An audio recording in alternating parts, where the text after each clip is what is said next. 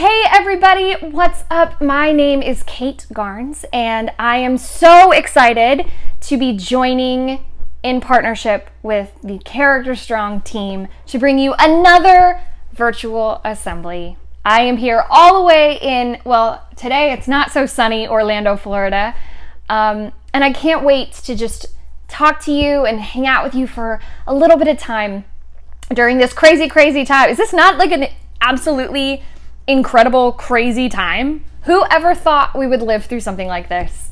Um, and I don't know about all of you, but I have spent a lot of my time doing puzzles. I've spent a lot of my time cleaning, um, eating all of the food in my house, and also thinking. There has been so much time to think, so much time to process things I haven't really processed before. And one of those things is anger that I have held toward people or bitterness that I have held toward people. Um, which leads me to what I want to talk to you all about today, which is forgiveness. Um, forgiveness, it tends to have this quality of like, well, but if I forgive somebody, then I have to be best friends with them again and I have to let them in and I have to forget that they totally wrecked me. No, nope. That is not, that's not at all what forgiveness means. See, to me, forgiveness isn't for them, forgiveness is for you. A few years ago, um, super long story short, I was betrayed by by a couple people, a couple friends of mine, who lied to me and um, made me feel crazy, made me feel like the insecurities that were totally, totally justified were my fault. And um, it was one of the worst friendship betrayals I've ever been through. And I was angry, like, really, truly brought out an ugly side of me that I did not like. They are not a part of my life anymore. I have not seen them in probably four years. Um, but just the thought of them brings up this anger and this this bitterness in me. But here's the thing: it's not affecting them. It's only affecting me. My, me holding on to this anger and this bitterness isn't punching them in the face. It's only really punching me in the face. So, when we think about forgiveness, I want you to change the narrative to realizing that forgiveness isn't for them, forgiveness is for you. Forgiveness is for me. Forgiveness is when we've been hurt, when we've been betrayed. We tend to like clench our fists, right? We furrow our brows, we clench our fists, and we and we hold and we hold this anger and we, we squeeze it as tight as we can, and it and it and it's it's hard and it's hurts and it's just this, right? And we shake and we're angry. Now, I can hold this for right now. This anger, this this shaking, and I am clenching my fists as hard as I possibly can, and it's making my arms shake. But if I hold this for 2 hours, as hard as I can, suddenly my arms are going to hurt and my back is going to hurt and my head is going to hurt this isn't hurting the people who hurt me. This isn't hurting the friend who let you down. This isn't hurting the sibling who called you fat. This isn't hurting the stranger who made fun of something you were wearing. This isn't hurting them. This is only hurting you. Someone once said, holding on to anger is like drinking a poison and expecting the other person to die. Or holding on to anger is like holding on to hot burning coals and expecting the other person to be burned. So when we're thinking through forgiveness right now, you may be holding on to anger um, from this pandemic. Maybe you are you were hurt by this pandemic. It took away something that you've been waiting for your whole life, your senior prom, your graduation, learning a class that you've been waiting for in school, getting to hang out with your friends. Maybe you've been holding on to a betrayal from a friend, Someone said something to you that hurt. Someone lied to you. Maybe a parent made a comment to you that burned really deeply. A sibling, a teacher, an advisor, whatever it is, and you are angry and you are hurting.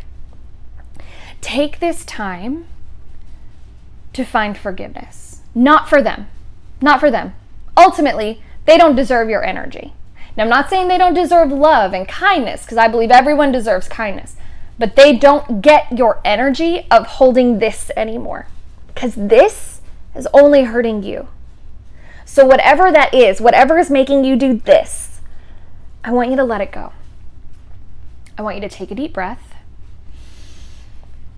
and I want you to let it go for you. Now, listen, this doesn't mean you have to let them back in. This doesn't mean you have to trust them. This doesn't mean that they deserve a spot at your table or in your life. Sometimes it is healthier for both people or situations to go your separate ways. But the forgiveness side of it is for you. The forgiveness side is to let go of that hurt and that anger because it's only hurting you. It's not hurting them. So, whatever it is that you're holding on to right now that is that is hard and heavy and burning and, and angry, I ask you to unclench your fists and let it go. Understanding that you are worthy of letting go of that anger and that pain. You are worth so much more than stooping to the level of holding on to anger of someone that isn't worth it, or a situation that isn't worth it, or this pandemic that isn't worth it. And then I want you to take a deep breath and I want you to try to find what good can come from this. So, my friends that betrayed me a couple years ago, man, I was broken. Like, I was so, so angry and so hurt. And I pushed a lot of people in my life away who had nothing to do with that situation solely because I was afraid that those people were going to hurt me too. Even though they had nothing to do, they didn't even know that all of this had happened with this completely separate group. And I said, What can I learn from this? I can learn to not treat people the way they treated me. I can make that my mission to never make anyone else feel the way they made me feel. I know now how I deserve to not be treated and how I deserve to be treated. So I will up my standards when letting people get really close to me, which is smart. I'm going to love people better because in the span of being hurt by those people, I hurt a lot of people because I pushed everyone and everything away. So I'm going to love better. You have the choice in this pandemic, in an argument with your friends, in a fight with your parents, in a misunderstanding. You have the choice to forgive. You have the choice to look at a situation and find the good. And it might be hard. There are some situations that are really hard to find the good, but I promise you, even if it's teeny tiny, it's there.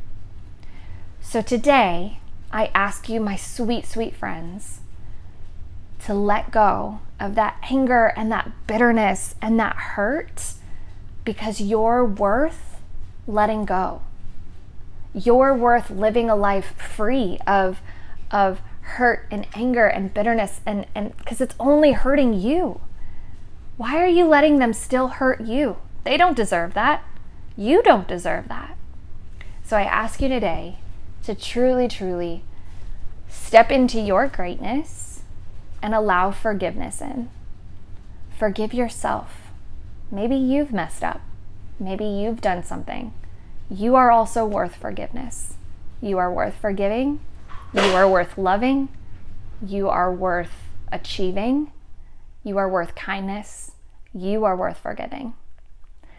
So, wherever you are, whatever battle you are facing, I ask that you look inside yourself and you find the forgiveness that you deserve.